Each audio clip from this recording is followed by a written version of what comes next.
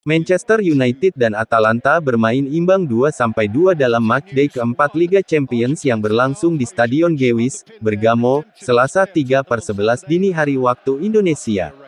Cristiano Ronaldo membuka laga dengan sebuah sepakan terarah ke gawang yang tidak begitu kencang. Setelah itu Atalanta terlihat mencoba menguasai bola dan perlahan masuk ke daerah pertahanan tim tamu. Pada menit kelima, Manchester punya peluang mencetak gol setelah tendangan Scott McTominay yang menyentuh pemain Atalanta bergulir menjauh dari kiper Juan Musso yang mati langkah. Bola mengenai tiang dan skor tak berubah.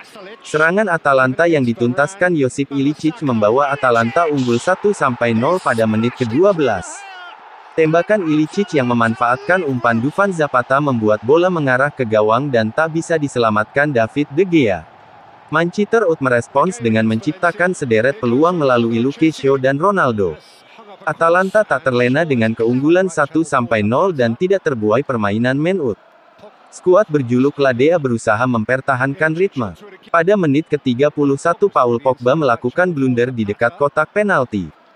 Bola yang hendak dibuang Pogba mengenai pemain Atalanta dan jatuh di kaki Zapata. Peluang emas Zapata di depan gawang di blok Eric Bailly. Rafael Varane harus ditarik keluar karena cedera. Mason Greenwood masuk sebagai pemain pengganti. Formasi Menut pun berubah dari menggunakan 5 back menjadi 4 back.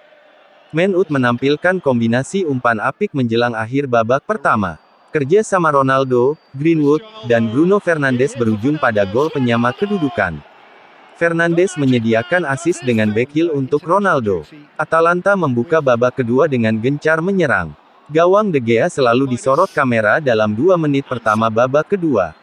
Menut menjawab serangan Atalanta dengan peluang dari Fernandes dan Greenwood. Zapata membobol gawang De Gea pada menit ke-56.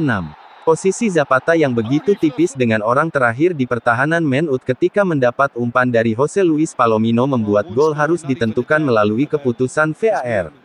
Berselang beberapa saat, Atalanta dinyatakan memimpin 2-1. Manchester United berupaya kembali menyamakan kedudukan. The Red Devils coba mengurung tuan rumah. Atalanta menampilkan pertahanan yang solid guna mengantisipasi kebangkitan Manchester sembari mencoba memanfaatkan peluang ketika menguasai bola. Pada menit pertama injury time, Manchester United menyamakan kedudukan.